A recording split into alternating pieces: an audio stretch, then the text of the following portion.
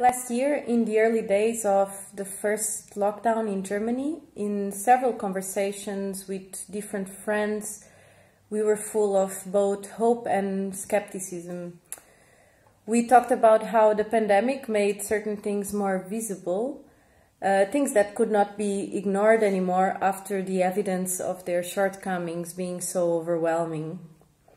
People clapped for nurses, doctors, health workers, and we deeply hoped that this would not be an empty gesture.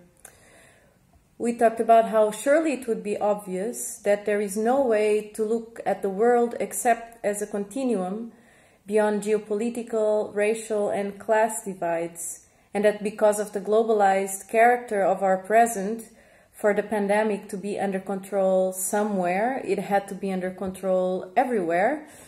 Uh, and we extensively discussed the implications of this realization. It wasn't new realization, uh, but surely one that being so clear or so crystal clear, we thought um, would operate or start operating a shift towards further development of politics of radical solidarity. It was with great dismay, but not with great surprise, uh, that we witnessed the furthering, the further deepening of the split along the lines of race, class, gender, and further categories and their complex entanglements.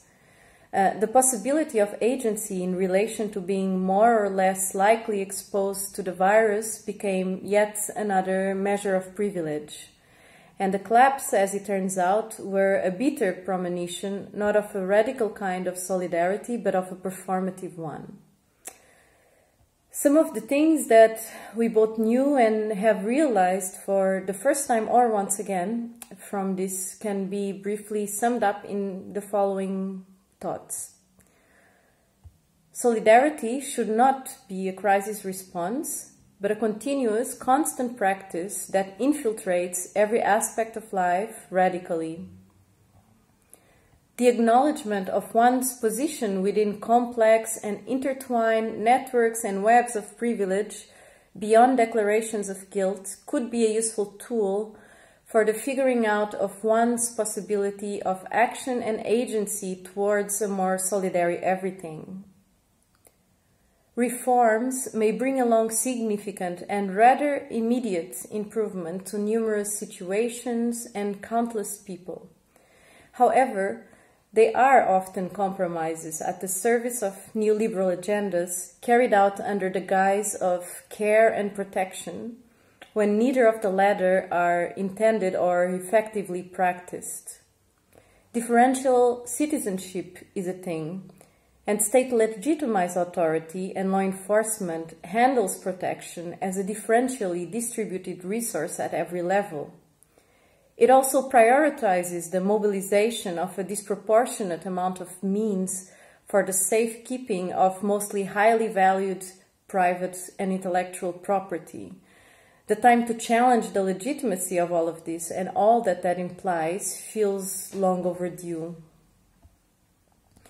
The current system is indeed highly adaptable and will concede the collapse of some of its parts and the erasure or eradication of many of its peoples in order to maintain its status quo, its visible and less visible structural anatomy, and its enduring necropolitics. It is difficult to not just give in to the hopelessness of it all. However, we must remind ourselves that there are elements of our shared world that have resisted and tirelessly continue to resist assimilation, absorption, and alignment into the centralized monolithic narratives that seem to scream at us that the only reality possible is a dystopian nightmare of the present. There are fundamentally different ways of being in the world that could create fundamentally different presents.